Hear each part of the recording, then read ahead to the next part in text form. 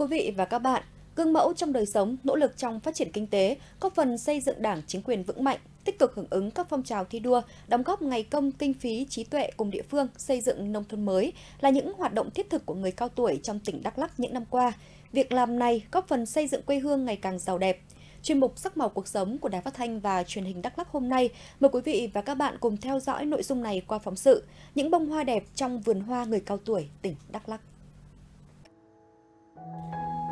Sau khi nghỉ hưu theo chế độ, bà Trần Thị Nhung được tín nhiệm tham gia ban chấp hành và giữ chức Phó Chủ tịch Hội người cao tuổi xã Lê Sa, huyện Crong Năng, tỉnh Đắk Lắk. Đây là điều kiện thuận lợi để bà đóng góp công sức và trí tuệ cho địa phương. Trước mắt kế thừa và phát triển phong trào thi đua tuổi cao gương sáng cùng nhiều hoạt động khác của Hội người cao tuổi xã. Sau đó chăm lo tốt cho hội viên và người cao tuổi tại địa phương, đẩy mạnh các hoạt động an sinh xã hội.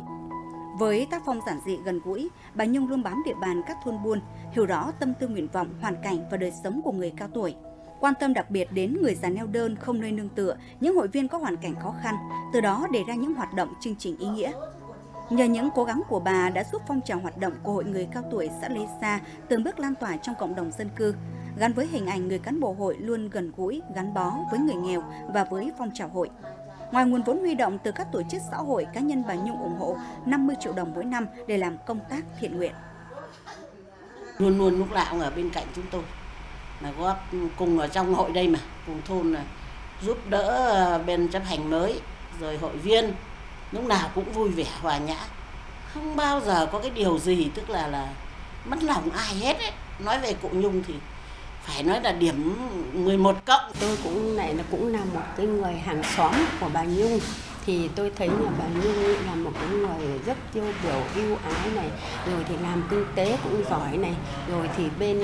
à, hoạt động ở bên các cụ cũng là rất là ưu ái, đối đãi với các cụ này, rất là vị tha mà như thế là thấy những gia đình khó khăn này, rồi thì những các cụ bà cao tuổi khó khăn là bà giúp đỡ đến cùng mà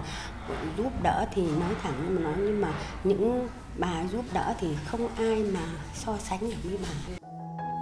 Năm 2023, bà Trần Thị Nhung được Ban đại diện Hội Người Cao Tuổi tỉnh chọn là một trong những gương điển hình trong phong trào người cao tuổi làm kinh tế giỏi của tỉnh Đắk Lắk. Với 7 hecta đất, gia đình bà đã áp dụng các tiến bộ khoa học kỹ thuật vào sản xuất thâm canh cà phê, trồng sen sầu riêng, bơ và cây chanh leo. Ngoài sản xuất nông nghiệp, gia đình bà còn kinh doanh khách sạn, phòng trọ tại thành phố Cần Thơ. Tổng doanh thu từ sản xuất nông nghiệp và kinh doanh khách sạn, nhà trọ, bình quân mỗi năm gia đình thu về trên 10 tỷ đồng. Gia đình bà đã tạo việc làm ổn định cho 6 lao động với mức bình quân 5 triệu đồng một người một tháng. À, cái sự may mắn của mình là ờ, con cái thì nó cũng đồng tâm hiệp lực và những người lao động thì họ cũng kết hợp với mình chia sẻ buồn vui nhất như là cái hai ờ, năm covid ấy, thì uh, kinh tế nó cũng khó khăn nói chung là toàn cầu thế nhưng mà sau đó thì được sự đồng tình của các thành viên trong gia đình với lại những cái à, người lao động họ hỗ trợ, họ à, động viên giúp đỡ nhau thì à, sau 25 23 này thì gia đình đã lại khôi phục lại và đã làm kinh tế ổn định, có hiệu quả cao. Bà Nhung chỉ là một trong hàng ngàn người cao tuổi của tỉnh đang phát huy trí lực trên các lĩnh vực kinh tế, làm giàu cho gia đình quê hương, tạo việc làm cho người lao động. Người cao tuổi tham gia phát triển kinh tế tuy có hạn chế về sức khỏe, nhưng họ có lợi thế về kinh nghiệm, cẩn trọng trong đầu tư kinh doanh.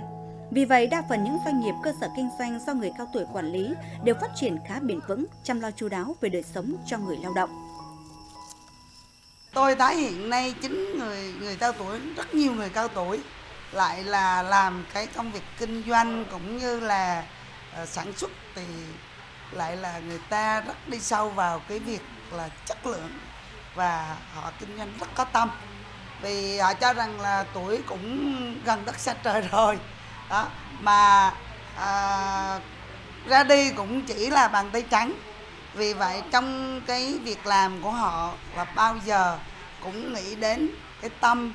và để rồi là làm những gì là tốt nhất cho xã hội cho nên cái sản phẩm của họ làm ra là họ luôn luôn nghĩ đến xã hội, nghĩ đến cộng đồng, nghĩ đến sức khỏe của mọi người. Năm 2011, bà Nguyễn Thị Ngọc Anh, chủ nhiệm câu lạc bộ nữ doanh nhân tỉnh Đắk Lắk đã thuyết phục kêu gọi các nữ doanh nhân cùng hợp tác đầu tư xây dựng khu du lịch sinh thái văn hóa cộng đồng Cô Tam tại xã Tu, thành phố Buôn Ma Thuột với những mục tiêu tạo việc làm cho người lao động, nhất là con em đồng bào dân tộc thiểu số tại chỗ, tổ chức sản xuất kinh doanh bền vững hiệu quả, kết hợp hài hòa giữa lợi ích người lao động, doanh nghiệp và nhà nước. Phấn đấu xây dựng khu du lịch cộng đồng Cô Tam trở thành thương hiệu du lịch của thành phố Buôn Ma Thuột, tỉnh Đắk Lắk. Kiên định với những mục tiêu ban đầu, khu du lịch sinh thái cộng đồng Cô Tam đã trở thành địa điểm du lịch hấp dẫn của du khách khi đến Đắk Lắk. Cô Tam là khu du lịch đa sắc màu, đậm nét văn hóa truyền thống của đồng bào dân tộc thiểu số tại chỗ, với những nhà sàn dài, bến nước hay âm nhạc, cùng những sản phẩm thủ công mỹ nghệ của người Ede. Giai đoạn từ năm 2018 đến năm 2022, số khách tham quan du lịch tới khu du lịch sinh thái cộng đồng Cô Tam là 1 triệu 650 ngàn lượt khách, đạt doanh thu hơn 83 tỷ đồng. Tổng số thuế nộp ngân sách nhà nước trong 5 năm qua hơn 4 tỷ đồng. Có nhiều người bảo làm giàu không khó, hoặc là cứ nghĩ rằng là nó rất là khi mình khởi nghiệp cái sản phẩm mình là dễ đưa ra thị trường và dễ có tiền nhưng mà thực ra là chính cái tình hình hiện nay là do cái mở mang trên toàn thế giới do công nghệ thông tin cái sự phát triển vượt bậc của cái uh, công nghệ. Vì vậy cho nên cái cạnh tranh rất là khốc liệt. À, cho nên là nhiều em phải làm phải theo tôi là phải uh, cân nhắc phải kỹ và uh, phải đưa ra những cái định hướng nhất cho nó xác đáng và có tính lâu dài thì nó mới phát nó mới, mới uh, tồn tại và phát triển được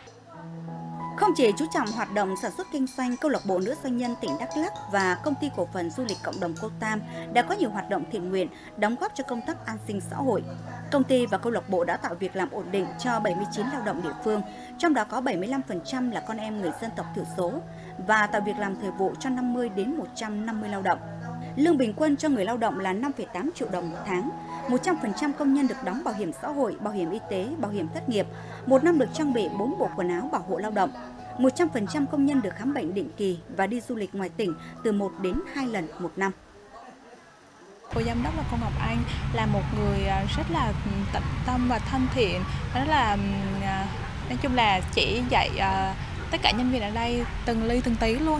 Dạ, à, tất cả các bạn nhân viên ở đây là 80% là người ED Tại vì lúc mới bước vào thì có nhiều bạn thì cũng không có được học đúng về chuyên ngành của mình là chuyên ngành về du lịch. Nhưng mà khi lên đây thì các bạn vừa vừa làm vừa học và nhờ cái sự chỉ dạy của cô thì các bạn cũng đã là bây giờ là cũng đã làm việc ờ, à, cũng hoàn thiện được bản thân mình hơn và làm việc cũng rất tốt hơn nữa. Cái chương trình mà ờ, cao tuổi kinh tế giỏi á thì thành phố triển khai cụ thể xuống tới tất cả cơ sở các xã phường người ta đều có cái thông báo người ta gửi về cho các chi hội cao tuổi của xã phường để triển khai. Nhưng mà tổng số người cao tuổi à, làm cái giỏi của thành phố thì so với các huyện thì rất là ít. Thực tế là không phải ít nhưng mà người ta ngại. Thực là người ta ngại, người ta ngại nhất là là khi mà làm người ta chỉ muốn làm thôi, người ta không muốn là là là kinh doanh công nhận hết. Thế là vừa rồi là thành phố mới tổ chức cái à, hội nghị biểu dương cao tuổi à, điển hình của thành phố thì mời người ta lên để tặng giấy chứng nhận người ta nhưng mà người ta vẫn không lên. Cái thật người ta rất là ngại ngại có, có nhiều lý do. Trong đó còn cái lý do là như về cái uh, doanh thu á. Thì nếu mà có cái doanh thu thì cao người ta ngại cái thuế má nếu thực tế. Người ta tuổi người ta hai rồi số bây giờ giao cho con cái rồi. Nhằm phát huy vai trò và khẳng định vị thế của người cao tuổi những năm qua, các cấp hội trên địa bàn tỉnh Đắk Lắk đã tập trung tuyên truyền vận động hội viên người cao tuổi còn sức khỏe trực tiếp tham gia sản xuất. Những hội viên sức khỏe yếu thì động viên hướng dẫn con cháu về kinh nghiệm và kỹ thuật trong phát triển kinh tế. Bà Lê Thị Nhất, hội viên người cao tuổi của thị trấn Quảng Phú, huyện Chư Mực Ga, hiện là chủ doanh nghiệp thu mua nông sản, phân bón, thuốc trừ sâu và vật tư nông nghiệp. Bên cạnh đó, bà còn có 11 hecta sầu riêng, cà phê, hồ tiêu vân vân. Mỗi năm tổng doanh thu của gia đình bà trên 11 tỷ đồng, giải quyết việc làm ổn định cho 5 lao động với mức lương bình quân 5 triệu đồng một người một tháng. Những năm qua để hỗ trợ người cao tuổi còn sức khỏe, trí tuệ tích cực tham gia phát triển kinh tế, Ban đại diện Hội người cao tuổi tỉnh Đắk Lắk đã có nhiều hoạt động như tập huấn về chính sách thuế, quản lý kinh tế, hỗ trợ, tạo điều kiện cho hội viên vay vốn phát triển sản xuất. Kết quả đã tạo sự chuyển biến tích cực về nhận thức, củng cố niềm tin của người cao tuổi về các quan điểm chủ trương của Đảng, chính sách pháp luật của nhà nước, tạo động lực để người cao tuổi phát huy truyền thống kinh nghiệm trong lao động sản xuất, vươn lên làm giàu, tham gia giúp đỡ hội viên có hoàn cảnh khó khăn thoát nghèo cái, duyên nó đến với mình thì uh, từ chỗ mình ờ, chăm sóc cái của mình đi sưu tầm tất cả các nơi từ ở công tum gia lai rồi ở uh, là đà lạt rồi có cả một số lá ở nước ngoài nữa mình về để chăm chăm chỉ là sưu tầm bảo tồn thôi. Nhưng mà khi cái, cái, cái duyên của mình khi cây nó phát triển đẹp à, giá thành nó phát triển cao thì lúc đó lại có một số bạn bè anh em đến giao lưu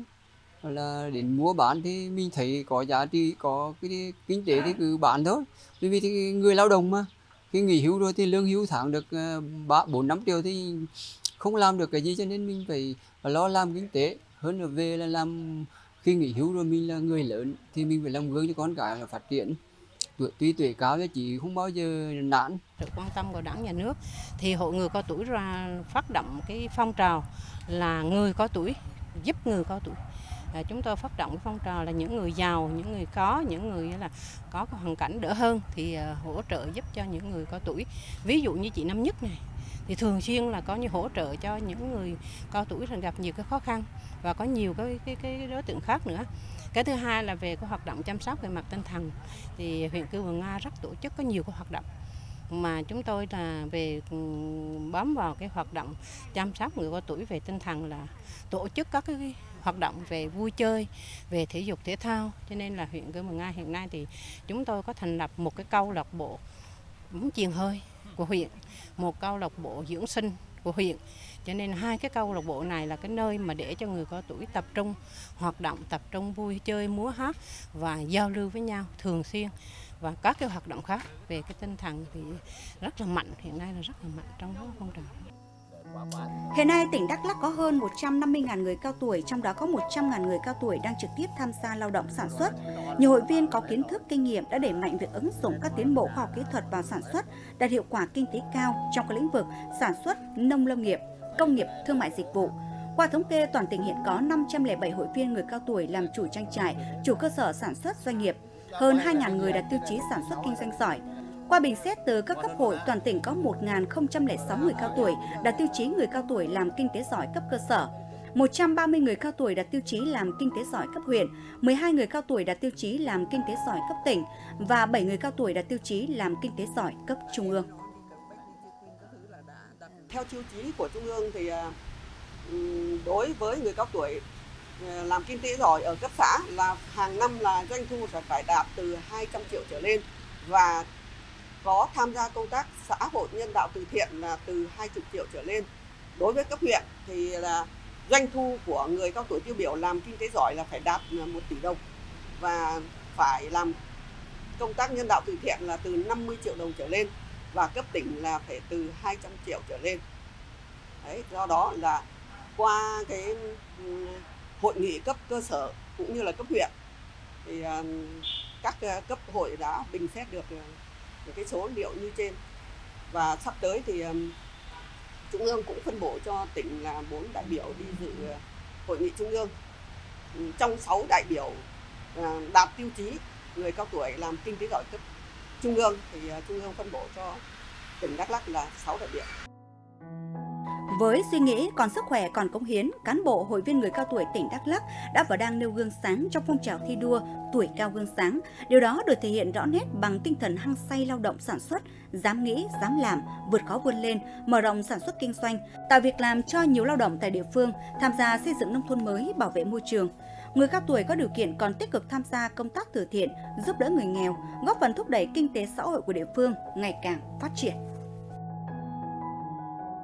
Chuyên mục Sắc màu cuộc sống kỳ này của Đài Phát thanh và Truyền hình Đắk Lắk đến đây là hết. Cảm ơn quý vị và các bạn đã quan tâm theo dõi. Xin kính chào và hẹn gặp lại.